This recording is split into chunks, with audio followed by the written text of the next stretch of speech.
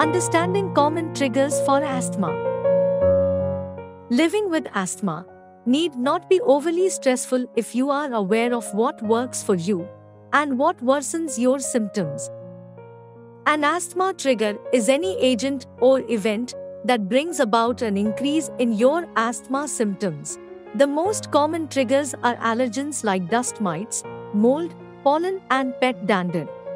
Or there can be certain irritants present in the air you breathe, such as tobacco smoke, air pollution, dust particles, or strong odors. Sometimes, certain infections may also cause your asthma to flare up. Or it may be a result of seasonal changes in the weather. Emotional stress and strenuous exercise are also known to trigger asthma symptoms in patients. It is important to know that not all patients have a similar response to the common triggers. Patients with asthma have their own personal mix of triggers, which may even elicit different responses at different times.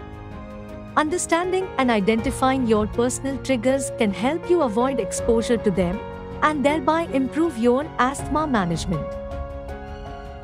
Speak to your healthcare practitioner for more information and take control of your asthma today.